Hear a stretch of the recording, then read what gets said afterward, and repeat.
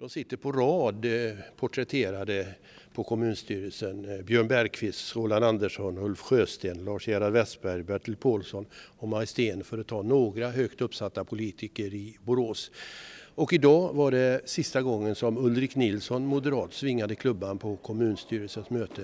Men vem som ska ta över i Borås, ja det är man väl förtegen om även om alla vet att eh, det blir Socialdemokraterna, Miljöpartiet i första hand tillsammans med Vänstern som kommer att styra Borås. Men Ulf Olsson, han var förtegen. Då så, kära vänner, välkomna till dagens kommunstyrelsesammanträde. Ulf Olsson, hur långt har ni kommit med de här diskussionerna om majoriteten i Borås stad? Ja, min förhoppning, eller vår förhoppning är att vi kanske kan komma så långt så att man skulle kunna ha en presskonferens i slutet på veckan. Men du är beredd att ta över? Nej, alltså den frågan är fortfarande för tidigt väckt utan först måste vi hitta ett sätt Ja, men som du, man ska ni har ju förhandlat styra. under lång tid. Vi har förhandlat under lång tid men, men vi är inte riktigt i land med förhandlingarna ännu. Man måste vara i land med förhandlingarna innan man kan uttala sig om den typen av frågor. Vilka är de svåraste frågeställningarna? Det vill jag inte heller kommentera just nu. Det, det, det finns väl några, några diskussioner som pågår och det får man lösa de diskussionerna. Eh, vad är den viktigaste frågan för dig då? Eh, för Borås framtid de närmaste fyra åren?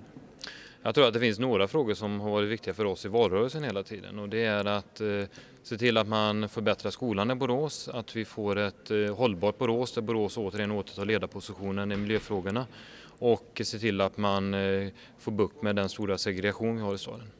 Finns det några frågor som eh, ni är oense om inom en ny majoritet med Vänstern och Miljöpartiet? Ja, vi vet ju inte ens vilka det är som ska styra staden men, men jag upplever att eh, vi är väldigt eh, ense med de partier vi vill samarbeta med, såväl Vänsterpartiet som Miljöpartiet och vägvalet kring de här stora frågorna. SP4. Anmälan om delegationsbeslut A1. Lennart Andreasson, hur långt har ni hunnit i de här förhandlingarna enligt ditt sätt att se? ganska långt och det börjar komma till ett ganska avgörande skede kan jag säga nu då. Men När man, ställer, när man ställer frågor till dig idag så säger nej jag kan inte säga något, det är för känsligt och så vidare. Är det första gången som du håller käft i kommunalpolitiken?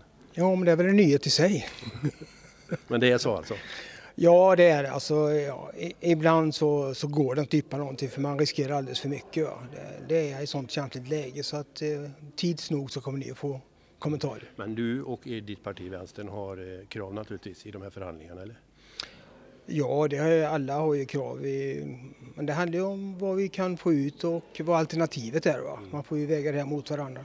De närmaste fyra åren då, eh, vad är den viktigaste frågan? Egentligen, det har vi sagt så många gånger förut, men det är ju skolan och förebyggande arbete. Satsa på, på förebyggande socialt arbete och skolan. Det är A och O att komma till rätta med segregationen.